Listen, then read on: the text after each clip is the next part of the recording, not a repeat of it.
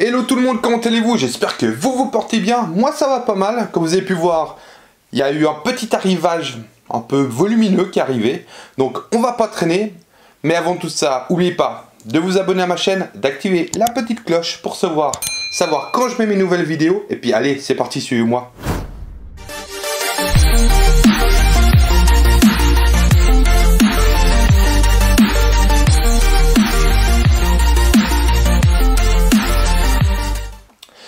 Bon bah voilà, comme vous avez pu voir, pas bougez pas.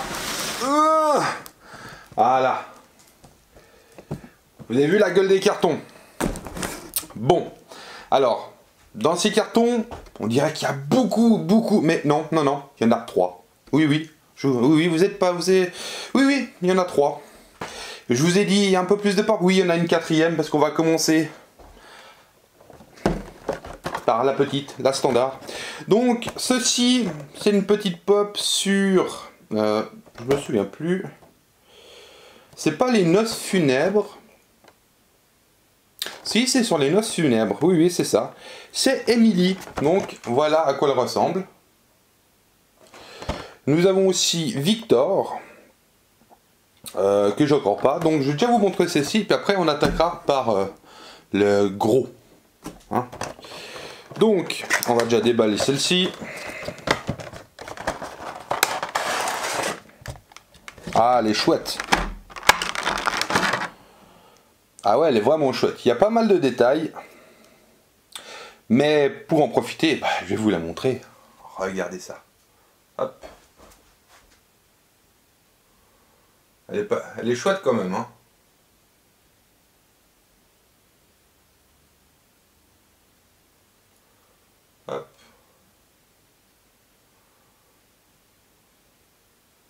Elle a quand même pas mal de détails. En plus, le voile, comme vous voyez, il y a des petits dessins derrière, qui est vraiment chouette.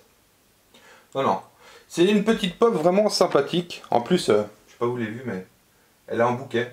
Voilà, oui. C'est une mariée à la base. Hein. Donc voilà.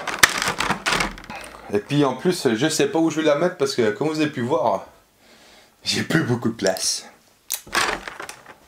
Bon, c'est pas grave. Alors, pour l'instant, où c'est qu'on va la mettre? On va la mettre. Voilà.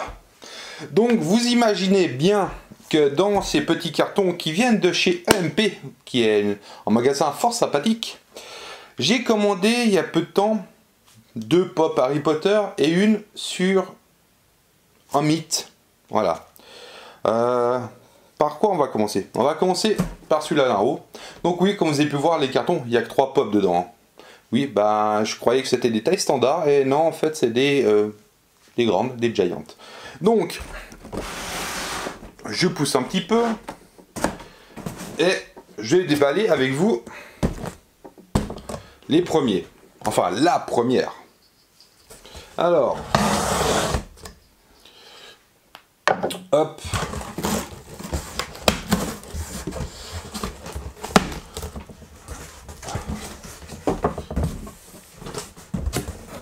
Oh vain Dieu. Je vous dis déjà, d'office, c'est gros. Alors évidemment, je ne l'ai pas commandé parce que je la voulais grosse. Je l'ai commandé parce que c'est une édition limitée et euh, je crois qu'il y en a déjà plus. Ou cher. Alors, on débarrasse. Voilà, hop. Donc, voici la première. Pour l'instant, je vais la laisser comme ça. Hop, voilà. Voyez, alors, ici, c'est Cthulhu. Donc, sans monstre. Euh, il est marqué Pop Books. Évidemment, parce que c'est tiré de livres. Mais bon, avant de vous la montrer, séquence culture. C'est parti. Cthulhu, personnage de fiction apparaissant dans les récits du mythe de Cthulhu. Alors, Cthulhu, c'est une monstrueuse entité cosmique inventée par l'écrivain américain Howard Phillips Lovecraft dans sa nouvelle L'appel de Cthulhu, publiée en 1928. Gigantesque créature extraterrestre endormie, depuis des millénaires dans la cité de R'lyeh, englouti sous les flots, dans l'océan Pacifique. Pacifique. Cthulhu est vénéré tel en Dieu par des humains dévoyés et des êtres aquatiques qui lui vouent en culte immémorial, par le biais de sculptures, celle-ci reproduisant sa forme vaguement humanoïde, complétée d'une tête de sèche, de tentacules de pieuvre et d'ailes semblables à celles d'un dragon. Mélange de mythologique européenne, le kraken des Scandinaves, et du Proche-Orient, Dagon, le dieu poisson des Philistins, Cthulhu est l'archétype du dieu cosmique monstrueux, d'apparence humanoïde, bien qu'il ne soit pas tout à fait correct de dire cela. Lovecraft insiste bien sûr sur l'aspect totalement inconvenable de la créature, avec une tête de pieuvre et des grandes ailes filandreuses. Il est vénéré par des créatures dégénérées, thème récurrent dans les œuvres de Lovecraft. Cthulhu inspire également des rêves des hommes, élargissant ainsi le cercle de ses adorateurs. Bon, nous voilà après cette petite interlude culturelle. Euh, donc, je vais vous... On va déjà regarder un peu euh, la gueule qu'elle a. C'est assez monstrueux. Hein. Donc, je vais vous la montrer juste comme ça, comme vous voyez. Hein. C'est assez euh, monstrueux. Donc, on va déjà la déballer gentiment. Alors, hop,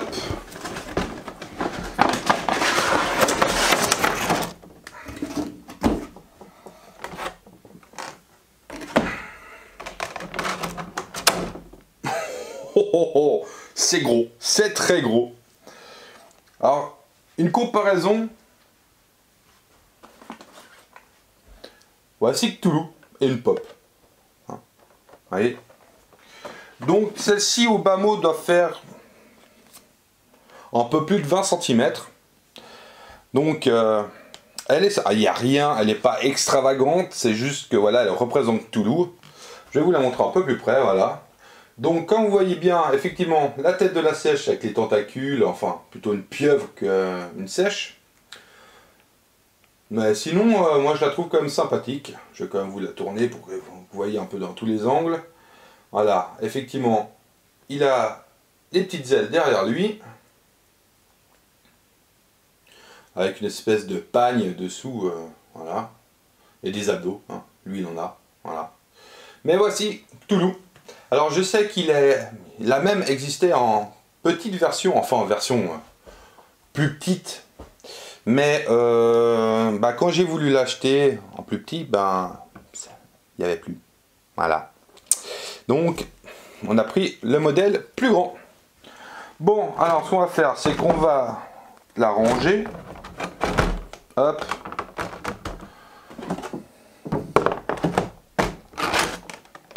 Après, autre petit détail, c'est... Euh, j'ai plus de place pour mettre des petites pop.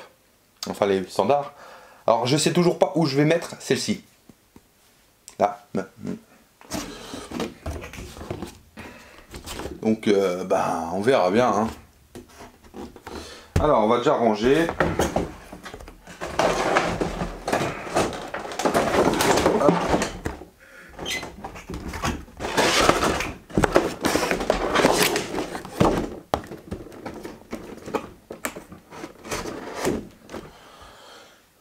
Voilà. Alors celle-là, on va la mettre par là-bas.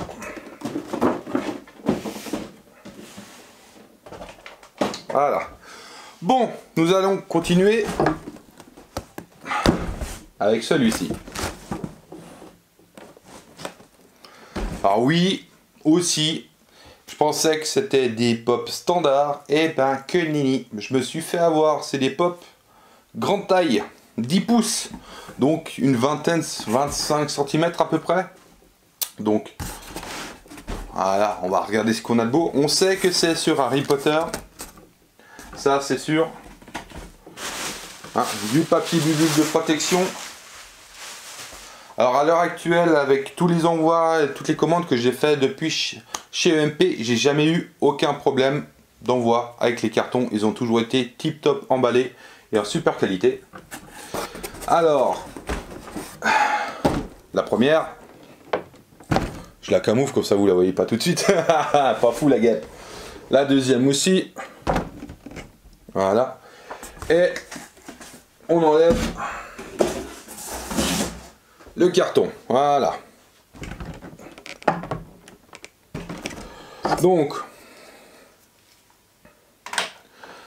euh, donc c'est sûr, cette fois c'est sur le thème d'Harry Potter. Ce sont aussi... Euh, non, elles sont même pas en édition limitée en plus, dis donc. Je suis étonné. Après, je pense pas qu'on doit les avoir toutes en grande taille, quoique, allez savoir. Ah, mais vous avez vu voir qui c'était déjà. bon, on va pas traîner le premier, effectivement, c'est le grand méchant de chez Harry Potter, c'est Lord Voldemort. Voilà, alors évidemment, euh, il a Nagini avec lui, avec son serpent. Lord Voldemort. Euh, après, je que dans cette collection, on peut encore avoir Hagrid. Ah, en, poil plus grand, parce ça c'est du 10 pouces. Hagrid il est en 6 pouces. Après on peut encore voir Hermione, Edwige, Dobby, Ron, Sirius Black quand il est en chien. Nous avons aussi euh, le Bloody Baron et Harry Potter. Voilà. Euh, par contre tous les autres sont en taille normalement standard, pas en 10 pouces. Donc on va la déballer pour voir ce qu'elle vaut, parce que je les ai trouvées quand même fort sympathiques et jolies, donc c'est pour ça que je les ai prises. Et vu que j'ai commencé gentiment la collection des pop sur Harry Potter, je me suis dit, allez, celles-là, elles vont faire bien dans la collection. Donc,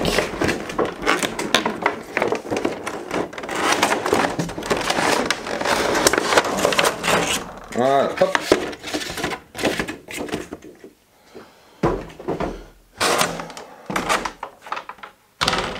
Parce qu'en Harry Potter, j'en ai déjà quelques-unes, mais pas 10 000 éditions. Et je sais qu'on a une édition spéciale que j'ai là. Je sais pas si là vous n'arrivez pas à la voir là, je vais vous la montrer. Je vous la remontre. C'était celle d'Harry Potter pour la convention 2020. Et en édition spéciale aussi celle-ci. Voilà, ça pour l'instant c'est les deux seuls que j'ai, si je ne me trompe pas, de chez Harry Potter. Maintenant j'en ai deux autres encore, mais en plus grand. Donc, on va arrêter de tiger, d'aller dans tous les sens. Je vais vous montrer Voldemort. Putain, mais elle est monstrueuse aussi. En tout cas, elle est quand même jolie. Voilà. Donc voici Lord Voldemort avec Nagini. Moi je la trouve fort sympathique.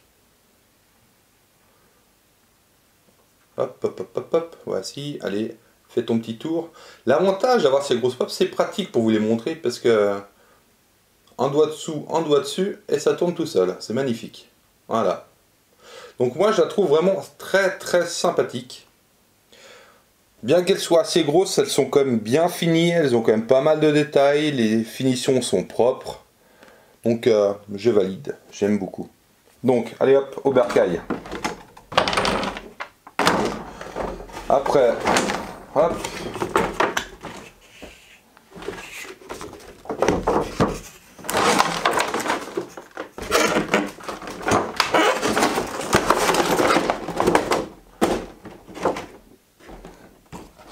Allez Tom, au lit. Donc voilà. Bon, bah il nous reste la dernière pop, euh, qui est aussi une giante. Euh, je vous avise que... Je vous avise rien du tout en fait.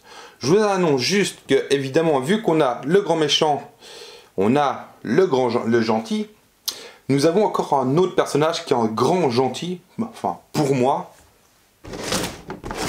c'est Albus Dumbledore. Alors, c'est exactement la même taille que Voldemort. Euh, la seule différence non, il a aussi son animal fétiche qui est fume sec, le, phénix. Elle n'est pas en édition limitée, celle-ci non plus, bien que je pense que ça va partir comme du petit pain. On va pas traîner, on va déballer ça puis on va regarder ce que ça vaut. Allez, viens voir là. Hop. Je pense que sur Dumbledore, il y a peut-être un peu plus de détails à regarder.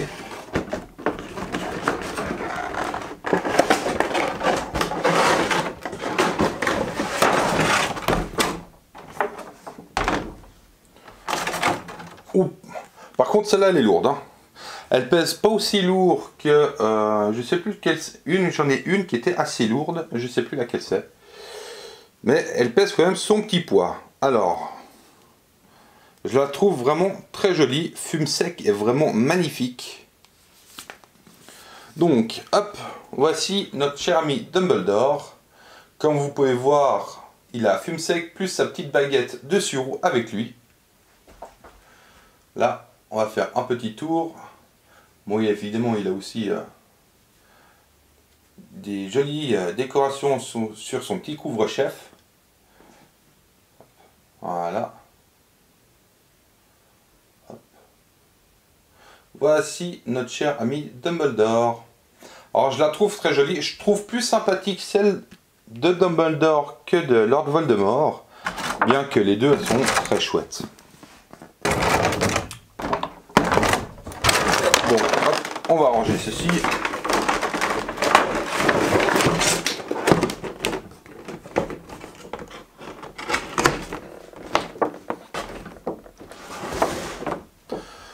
Bon bah malheureusement, euh, cette vidéo touche à sa fin. Et eh oui, et eh oui. Mais bon, si vous êtes abonné à ma chaîne, bah vous savez que d'ici une semaine, il y aura une nouvelle vidéo. Donc j'espère que cette petite vidéo de pop un petit peu spéciale vous a plu. Euh, laissez un commentaire si vous voulez, partagez, likez. N'oubliez pas de vous abonner et puis à la prochaine et portez-vous bien. Allez, bye bye